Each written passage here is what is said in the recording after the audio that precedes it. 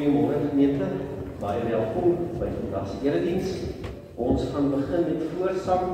Ehm um, daar is dit baie iets wat gaan saam sing. Die eerste een is hier nog sit en dan mag ek vra ons vir die laaste een uh, net staan. Ons eenmal net vir die uh, vir die 40 dae so ons die twee in die saam staan. Kom ons uh, sing eens eers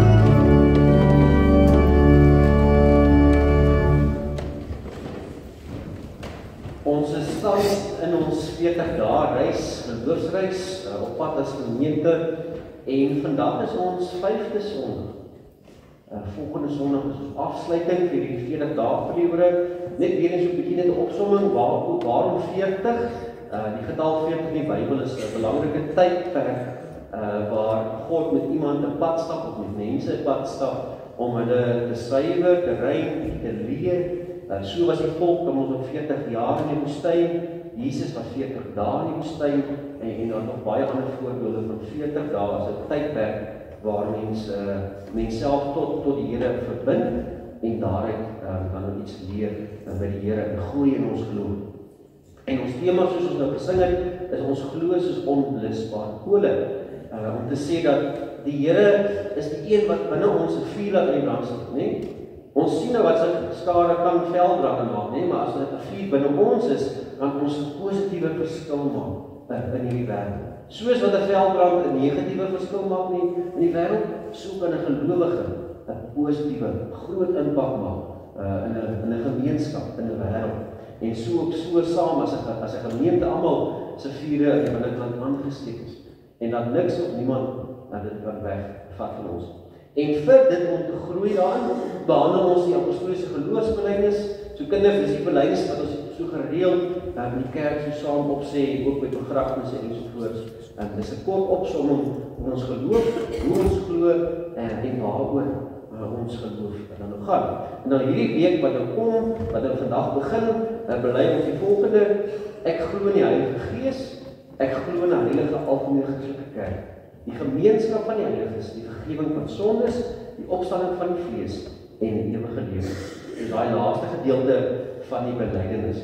En is interessant, uh die Heilige Gees is nou die die die hooffokus uh, vir hierdie week wat nou gaan kom en dis um, baie interessant om sien en dis hoe hoe dit maar werk is dat die Heilige Gees is verantwoordelik vir die kerk. Dis die Heilige Gees wat maak dat die kerk um, en ons as gelowiges aanspoor uh, om binne die kerk deel te wees uh en om die wêreld te dien as dienaars uh, van die Here. So uh vandag se gedeelte gaan kom uit Galasiërs uit wat ons gaan saam lees uh en ons gaan veral praat oor die kerk. Waarom is ons deel van 'n kerk? Waarom is ons deel van hierdie kerk uh, hierso op Jakob staan? Kom ons raak rustig vir die volgende oomblik. En ons probeer die afskakel van alles wat daar buite vir ons wag, die nuwe week wat vir ons lê, die toetse, uh, wat vir ons wag om te wat ons gaan skryf en wat moet voorleer en ons raak so 'n bietjie rustig hierso in die huis van die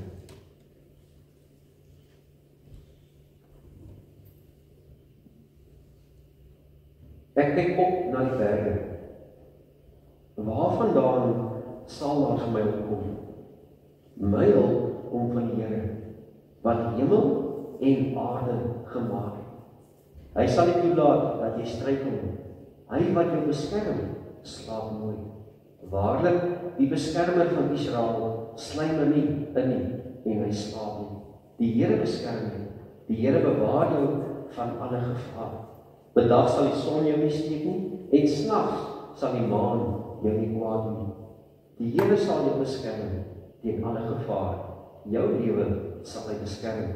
Hy sal jou beskerm waar jy ook al gaan, nou en vir altyd. Here, dankie dat ons vanoggend weer hierdie bevestiging kan kry, Here, dat ons lewens en ons uh uh ons geloof, ons alles is binne U hande, Here. Dankie Here dat ons dit opnuut kan bely vanoggend, kan hoor, kan ervaar en mag ons dit ook gaan leef daarbuiten. Mag U vanoggend se erediens vir ons seën, Here. Dankie dat ons kan weet U is hier teenwoordig en help ons om gehoorsaam te luister na dit wat U vanoggend vir ons elkeen gaan sê. Ons bid in naam van die Vader, die Seun en die Heilige Gees. Amen. Kom ons sing die volgende lied terwyl ons terwyl ons sit, Gees van God wat in my woon.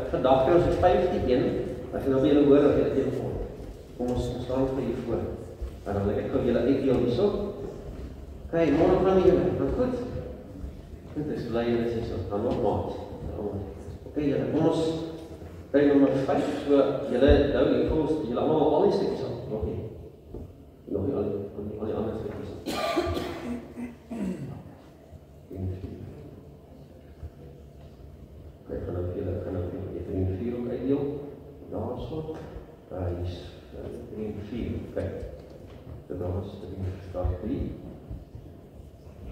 Dat is 4. 3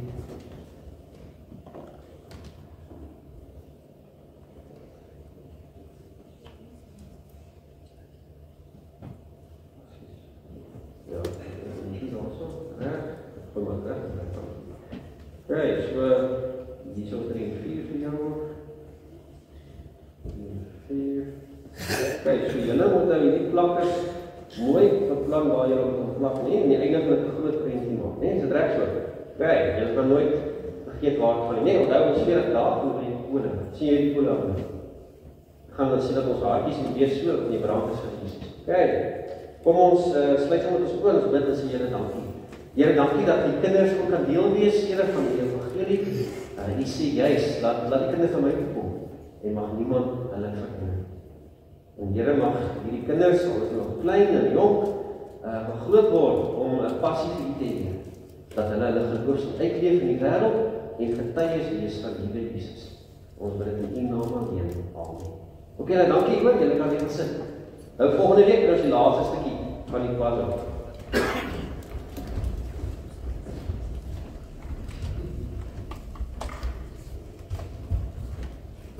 Ons belydenisstuk is soos 'n 'n legkaart van 'n paar stukke en ons moet juist die volle prentjie hê, die volle boodskap, die volle boodskap van die evangelie.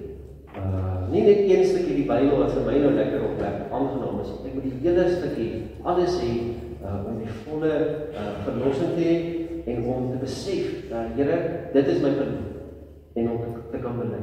So ons as groot mense moet ook gereeld hoor wat glo ons? Waarom glo ons? En moet die volle 'n volle evangelie dan uh bely in ons lewens. Kom ons sê vir Here dankie vir ons geloof en dat hy vir ons die kruis gesterf het deur die volgende twee liedjies saam te sing, die 421 die Here Jesus lewe en dan ou Christus self sy kerk instaan. Kom ons staan ons asseblief. Amen.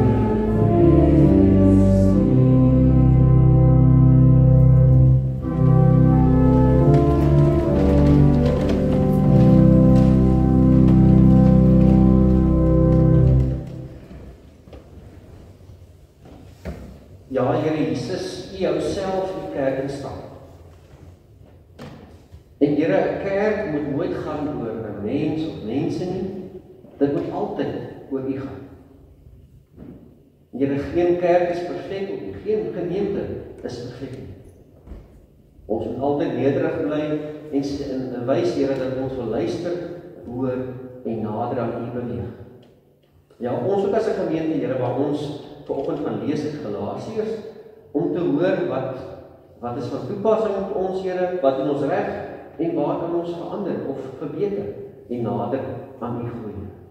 Ja, ook dat ons daaruit verstaan watter rol elkeen van ons moet vervul binne hierdie groter eh, kerk. En ons bid dit in U naam alleen. Amen. So ons lees uit Galasiërs hoofstuk 3 vanaf vers 21.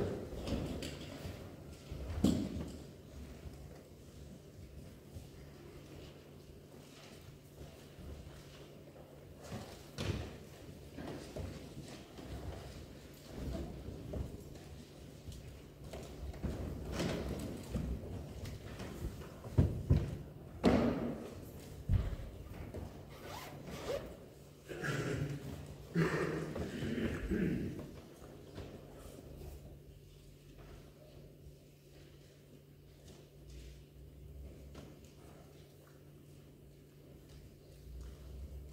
begin ons lees uit Galasië 3 vanaf vers 20.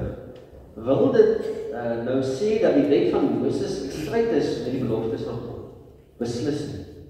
As 'n wet gegee was wat in staat was om die ware lewe te skenk, sou 'n mens inderdaad vrygespreek kon word op grond daarvan dat hy die wet onderhou. Maar volgens die skrif is die hele wêreld vasgevang in die greep van die sonde. Die belofte word dus vir die gelowiges vervul alleen op grond van die geloof in Jesus Christus. Voordat hierdie geloof gekom het, is ons deur die wet gevange gehou en bewaak tot die tyd van die geloof sou aanbreek. Ons was dus onder die toesig van die wet totdat Christus sou kom, sodat ons deur te glo vrygespreek sou word. Maar nou dat die tyd van die geloof gekom het, staan ons nie meer onder die toesig van die wet nie. Deur hierdie geloof in Christus Jesus is julle nou almal kinders van God. Want julle almal wat deur die doop met Christus verenig is, het nou deel van Christus geword. Dit maak nie saak of iemand Jood of Griek, slaaf of vry, man of vrou is nie. In Christus Jesus is julle almal een. En as uh, julle aan Christus behoort, is julle ook nakommelinge van Abraham en erfgename kragtens die belofte van God. Ons lees dan vandag. Aanvanklik is dit dalk moeilik om tema eh te verbind tot die uh, die teksgedeelte maar jy sal nou sien uh, waarom uh, ek die vraag ons vra na aanleiding van hierdie teks waarom is ons deel van die kerk? So die die vraag wil ek twee deel, nê? Waarom is ek deel van 'n kerk in die algemeen, nê? Uh die kerk in die breë samelewing. Waarom kan ek nie maar net uh op op my TV en maar net kyk in die dienste of op die radio luister nie. Waarom moet ek deel wees, aktief deel wees van 'n gemeente? Dis een vraag. Tweedens, die ander deel van die vraag is waarom is ek deel van hierdie gemeente? En die gemeente Jakobsdal. So ons wil vandag so 'n bietjie kyk na al twee van daai uh vrae of kante van die vraag om 'n bietjie klarigheid vir onsself te kry en om te groei ons geloof en groei ons deelname, nê, aan uh, aan Jesus in sy kerk. Nou die brief van Galasiërs, ehm um, is 'n interessante aansins interessante brief van Paulus. Nou waarom sê ek so? Nou Galasië is 'n dorp uh, waar vandag wat Turkye is vandag en hierdie gemeente het baie baie strewelinge gehad. En dit kan mens sommer net sien van die begin van die brief, nê? Uh so Paulus se briewe lyk baie van hulle dieselfde tipe manier hoe hulle geskryf is dat dit in die begin van die brief is daar 'n lang verwelkoming uh, groete wat Paulus skryf aan die mense en waar hy dank betuig teenoor hulle baie sê ek bid vir julle en ek is dankbaar vir die Here vir julle geloof en die voorbeeld wat julle stel maar Galasiërs is 'n kort inleiding en dan begin Paulus hulle pak slaag gee in die brief bedoel dat hy hulle nou aankla en kom teen hulle sê oor hulle geloof en die ding wat aan die gemeente aan die gang is wat nie reg is. So hy sê so hy begin vers 6 sommer net in hoofstuk 1. Dit verbaas my dat julle so gou van God wat julle deur die genade van Christus verbied afvallig word en 'n ander evangelie aan. Dis dis streng woorde wat Paulus hier gebruik, sommer die begin van sy brief om vir die gemeente in Galasië te sê Die dinge waarmee jy besig is, die dinge wat jy preek, die manier hoe die gelowiges hulle geloof uitlewe, die dinge is is is is nie uh en uh dis nie um dieselfde as die evangelie van Jesus. En ek dink ek toe die mense dit moes hoor, het hulle geskok gewees. Ek dink dit maar ons is dan nou besig met die met die evangelie van Jesus. Ons preek dan nou oor Jesus. Wat wat wat doen ons dan nou verkeerd? Uh dan dan Paulus het die klop argumente in die brief En die gedeelte wat ons nou gelees het, is een van die argumente wat hy uh, die gemeente aanspreek daaroor. Nou saam met hierdie agtergrond van Galasiërs moet mens ook verstaan dat in die tyd toe hierdie brief geskryf is, hoe die Christendom versprei het. Ehm um, dit was 'n merkwaardige ding wat daar gebeur het. Baie keer met sal ek ietsie hiervan noem. Ehm um, maar daar's 'n boek wat hy ou geskryf het, uh, Rodney Stark Hy was 'n sosioloog of is 'n sosioloog. Dis 'n persoon wat die samelewings uh, uh, bestudeer. Hy kyk hoe samelewings verander oor al die eeue. Hy kyk wat het daar gebeur, wat het invloed dit gehad, hoe mense begin verander in hulle denke en hulle gedrag. Uh, en hy kyk ook natuurlik na gelowe. Watter impak het 'n geloof op 'n samelewing? Nee, 'n samelewing 'n groep mense wat in 'n area woon. So hy kyk ook dan hoe gelowe mense se gedrag verander. En as hy kyk na hoe die Christendom, ons die gelowige ons bely, nê, toe dit begin het, wat 'n enorme impak dit gehad het uh, in daai destydse samelewing. In die tydperk van Galasiërs, die tydperk van al hierdie briewe was in die begin van die Christendom. En dan verstaan ons 'n bietjie meer van waarom Paulus dit moet skryf om te verstaan waarmee die mense die gelowiges verworstel. Watter dinge was in die gemeentes aan die gang? Watter dinge het gemaak dat mense afhandig raak? Watter dinge het gebeur dat mense konflik het uh en tussen mekaar die hele tyd uh beklei? En hy het gesê dat uh, daar's 'n paar redes wat hy sê, maar hy sê dat die die Christendom, die geloof het soos hulle gebruik baie keer voorbeeld soos 'n veldbrand versprei, nee, die ouens van 'n veldbrand moet bestry sal weet 'n veldbrand is ding wat groei en vinnig aan die gang. Dat die Christendom het so versprei. Kerke het in die begin so versprei oor die volgende redes. Um, en van die redes is dat Christene as hulle tot die geloof oorgegaan het tot Christendom was hulle ewe skielik deel van 'n familie. En dit was so radikaal verskillend vir daai tyd, né? Dat mense maak nie saak wie jy is nie, ons sien dit in Galasië dis einde ook. Maak nie saak wie jy is nie. As jy in Jesus glo, is jy deel van 'n familie. Dan maak dit nie saak of jy arm of ryk is, maak nie saak wat jou kultuur is taal is nie, jy is deel van Jesus. En jy voel of jy iewers behoort. Jy voel of jy iewers 'n familie, mense wat nie familie het nie, die iewers net 'n familie waar hulle liefde en omgee ervaar soos hulle nog nooit tevore ervaar het in hulle lewens hulle kom agter dat die Christene wat dit bely en uitleef, daar's iets anderste aan hierdie mense. Hulle sê nie maar net hulle is deel van 'n geloof nie. Hulle wys dit elke dag in hulle lewe. Hulle wys dat hulle 'n ontmoeting met die Here gehad het. En hulle neem aktief deel um sorgeloos, hulle ook nie sorgeloos en eh, sonder om daarvoor iets te kry. Bedoelende dat hulle betaal word of dat hulle ek hulle eie dat die liefde wat in hulle harte is en omgee in hulle harte so baie is dat borrel uit borrel uit lê en so 'n positiewe verskil maak in mense se lewens.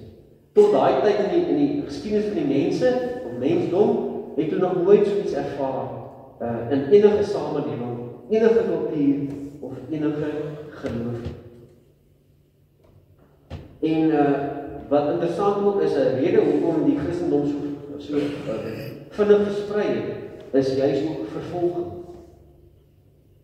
Dit klink vreemd, né? Nee? hoe hoe meer die Christendom in kerk versprei het, hoe meer was hulle vervolg, doodgemaak uh, en kon hulle nie hulle geloof oefen nie, nee, in openbaar.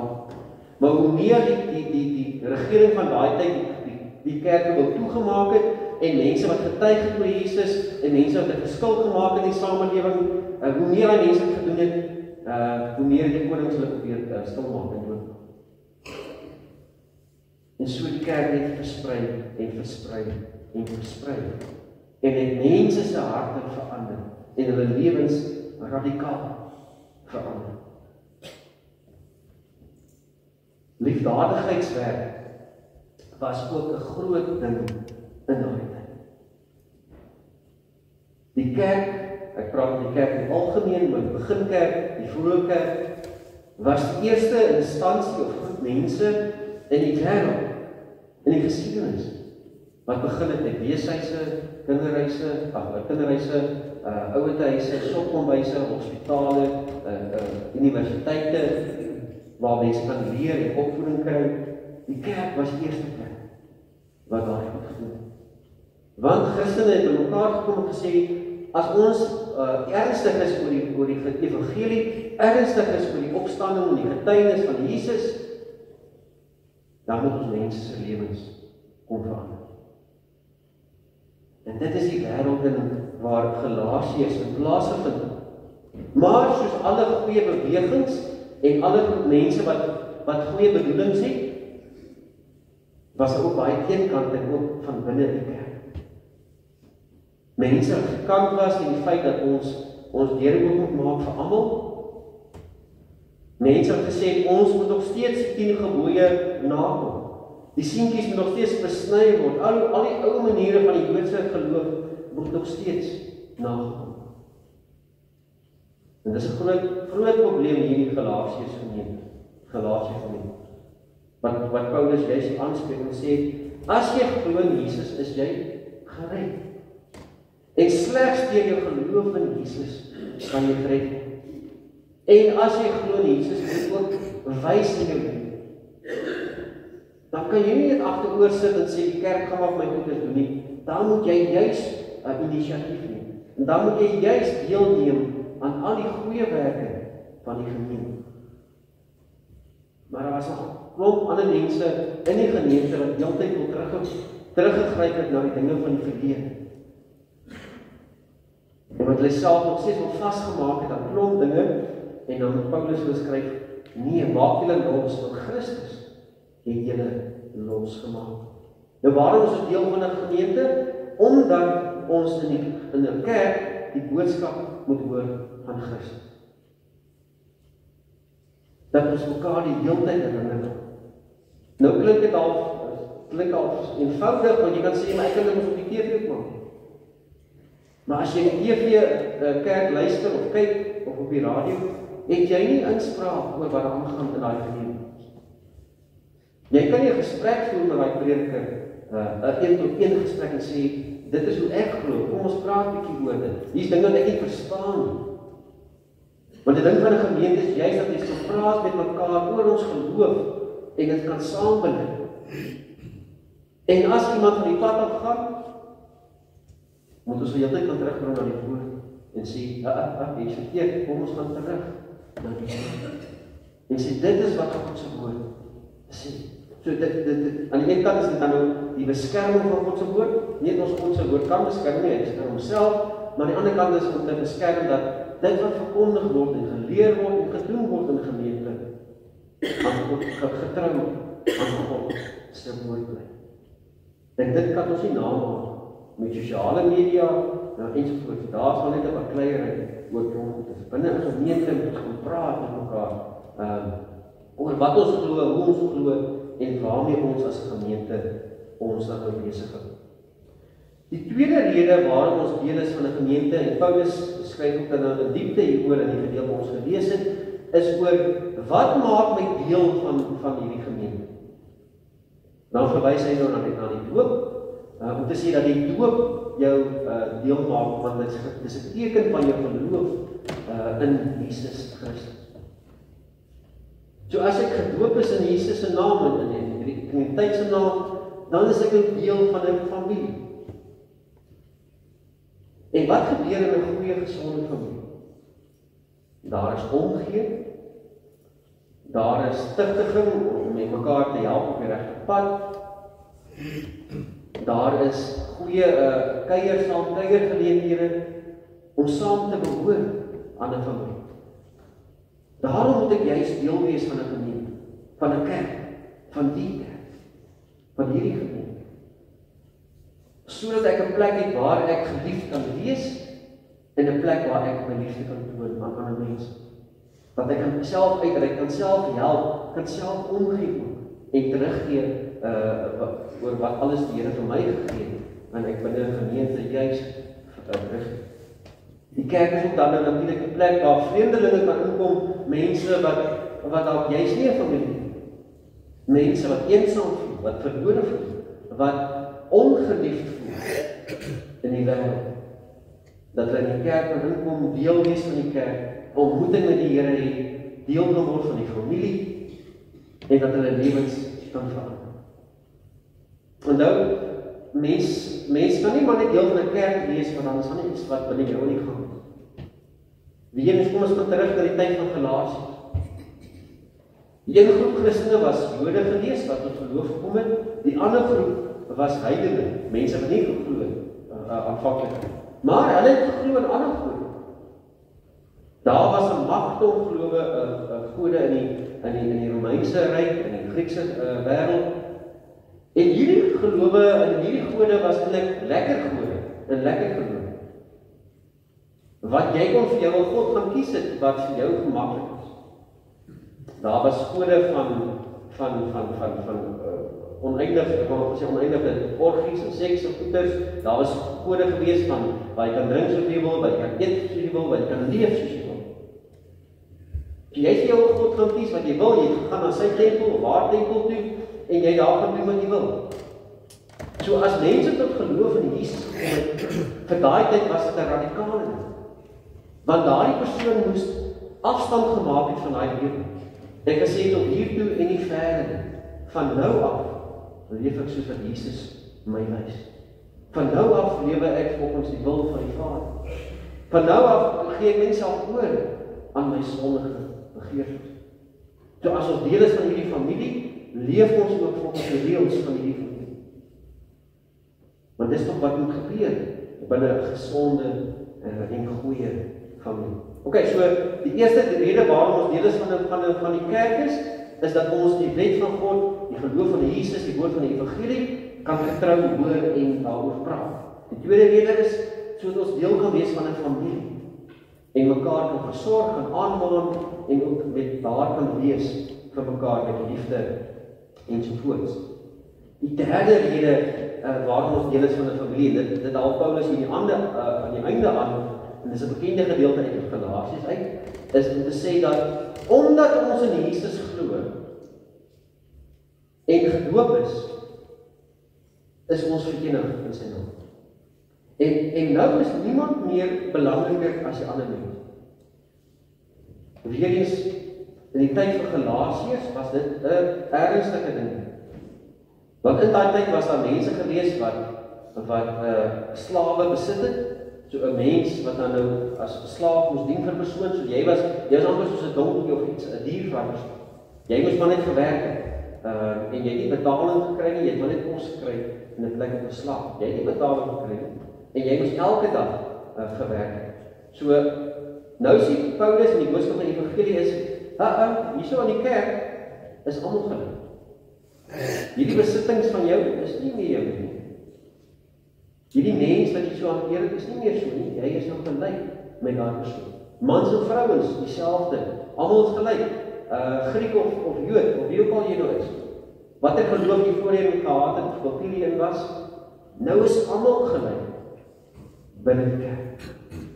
So jy dink op jouself dink watter tipe konflik hierdie koms veroorsaak het in daai mense wat nie wil prys gegee aan hulle eie mag of status om te besef hier persoon langs my sit. Die persoon wat ek in hierdie week in die straat sien. Sonderdag by die kerk is ek en hy eintlik gelyk. En so moet dit ook eintlik die res van die week wees dat ons gelyk is. Want net Jesus is verlewe en meer belangrik as hy. Daarom moet die kerk nie gaan oor 'n mens of 'n dominee of 'n pastoor of wie ook al Dit moet gaan oor Jesus in die eerste plek. Want almal is gelyk binne 'n goeie gesonde uh, familie. So as ons sê almal is gelyk, derdens, in die derde deel uh, of derde rede waarom deel is van die kerk, moet ek ook kan uitreik na ander mense.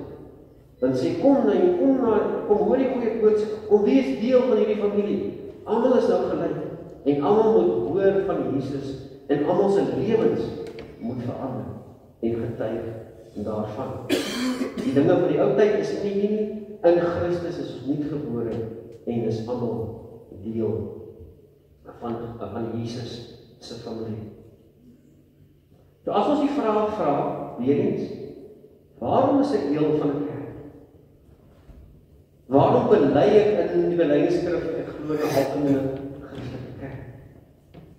Daar moet tog redes daarvoor wees. Daar moet implikasies wees daarvoor as ek sê ek bely dit. En maak ons as 'n gemeente hierso, as een gemeente binne 'n wêreld met baie baie gemeentes besef dat ons moet getrou wees aan hierdie waardes. Getrou wees aan hierdie redes waarom mense sal sê ek wil deel wees van hierdie gemeente. En dat mense sal tuis voel, maar dat mense as deel van die familie ook kan groei en 'n verandering kan plaasvind in hulle eie geloof. Maar kom ons begin eens by onsself, elkeen van ons, en sê hoe het ek al die Here ontmoet? Getuig my lewe van 'n ou Meas of 'n nuwe Meas wat wat wat gebore is in Christus as 'n nuwe nuwe mens. Amen. Here help ons om te besef na aanleiding van vandag se preek en die teksgedeelte uit Galasiërs 3 dat dit ontsettend belangrik is vir ons elkeen se geloof om deel te wees van 'n kerk om te besef dat my verbintenis tot die kerk deel is van my van my geloof. Deel is van dit wat ek bely as 'n Christen. Here help ons om verby te kyk, verby konflik te kyk, uh dinge van die verlede en om te fokus op die hier en die nou en om te fokus op die toekoms wat vir ons voor lê. Ja, Here, geen gemeente is perfek nie. Ons as 'n gemeente is ook nie perfek nie. Geen mens is perfek nie. Net Jesus was perfek. En help ons om om verdraagsaam te wees teenoor mekaar. Here, help ons om te bly met die woord, met die waarheid, Here, soos wat ons in Februarie maand ook 'n reeks gehad het oor wat is die waarheid? Dat ons sal bly met die waarheid, dat ons as familie na mekaar sal omsien en omgee met liefde en ook mekaar op die regte pad sal wys die vrymoedigheid sal hê om dit te kan doen. En ja, ons Here om uit te reik na mense want ons almal is gelyk onder Christus. Ons bid vir u groot naam alleen. Amen.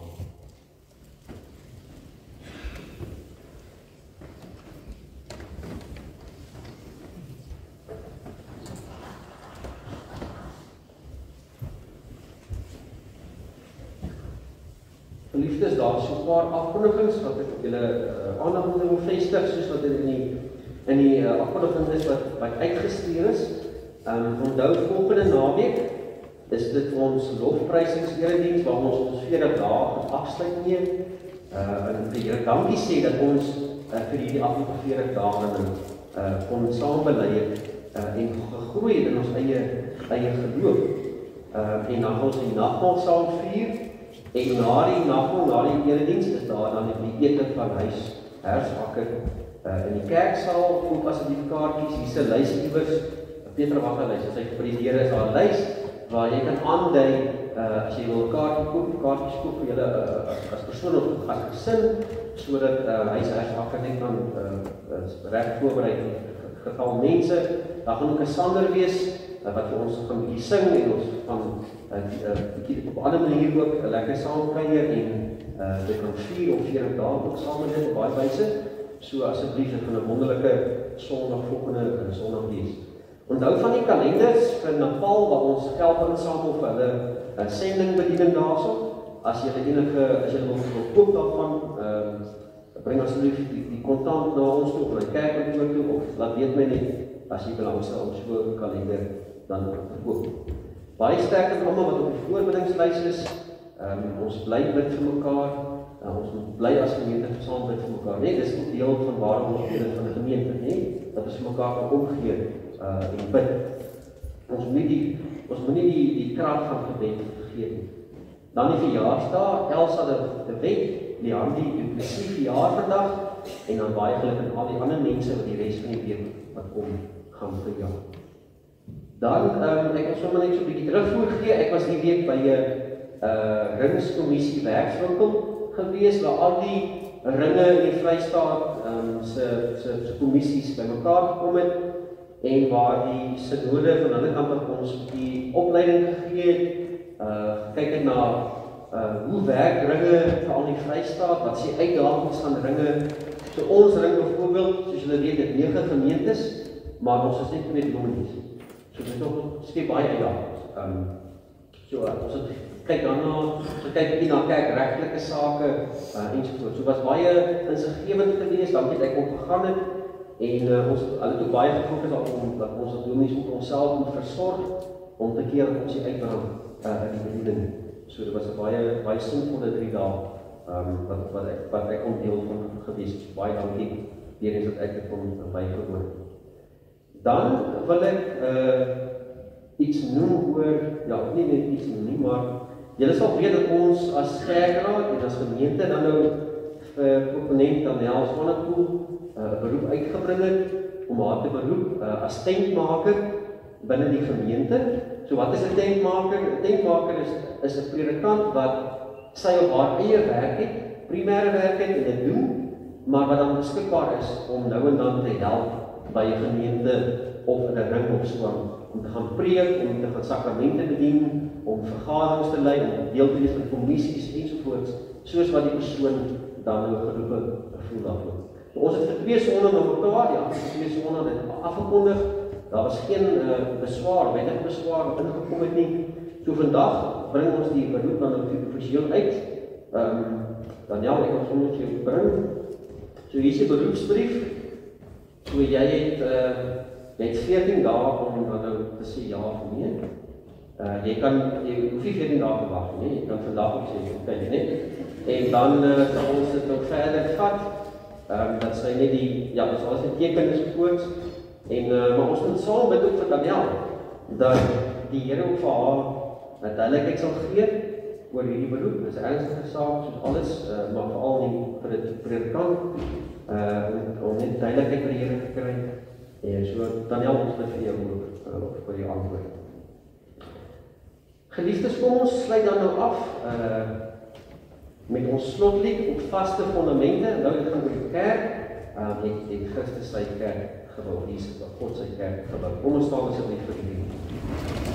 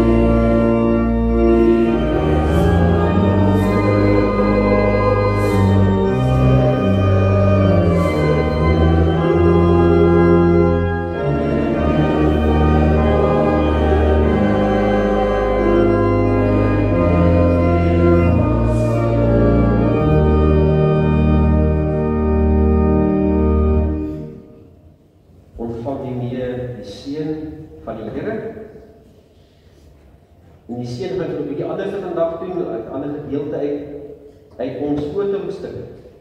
Uh, Psalm 121. Kom ons gaan uit met die volgende woorde in ons harte en ons gedagtes om te weet waar ons hulp vandaan kom. Ons kyk op na die berge. Waar vandaan sal daar vir ons hulp kom? Ons hulp kom van die Here wat hemel en aarde gemaak het. Geliefdes, gaan uit, gaan leef dit en getuig dit En die wêreld daar buite. Amen.